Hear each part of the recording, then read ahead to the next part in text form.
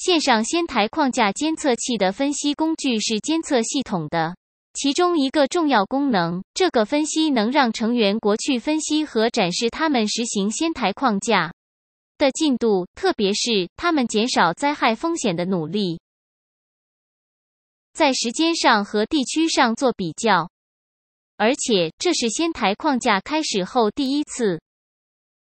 这个分析让大众看到成员国如何汇报全球目标和指标，包括报告灾难的损失、减少灾害风险的策略、国际合作、早期预警和危险信息。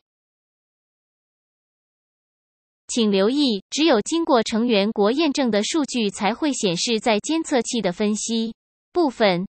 如果成员国没有验证该数据，那就不会出现在这里。这个影片会强调分析工具的一些主要功能。要进入分析工具，按顶端的分析方格。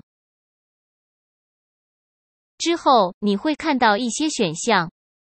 所有的数据都可以被筛选做比较，可以根据目标、指标、年份、国家或地区而被分析的资讯可以被存取做图表、地图和表格。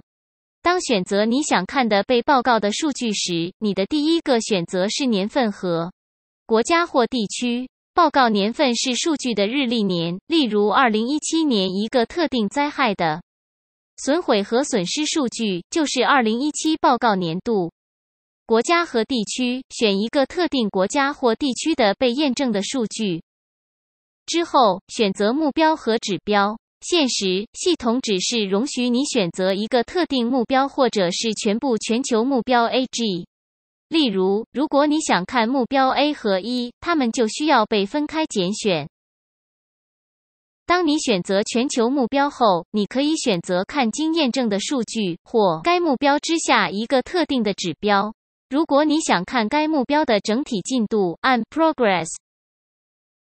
当你做了这些基本选择后，你就可以选择去比较不同的国家或地区。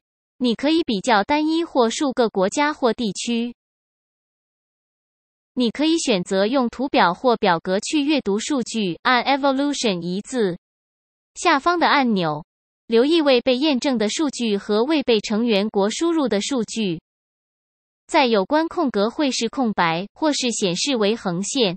在此阶段，您不能从系统中下载图表、表格或数据。